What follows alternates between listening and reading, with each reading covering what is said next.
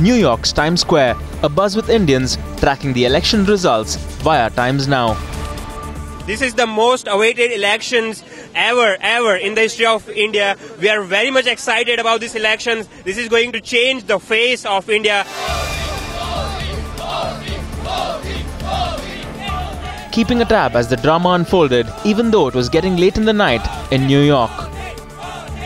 As we can see, I'm here at Times Square, New York, and people seem so excited. They are waiting here for last three hours. Indians in the US making it obvious who they were rooting for. All Americans, Indian Americans, congratulate Sri Narendra Modi today when the destiny of India changes to a destiny of growth and development, to a new fortune for, with equal opportunity. The dramatic 2014 verdict keeping NRIs in New York glued to India's election news headquarters. With Sherry in New York, Dharnidhar for Times Now.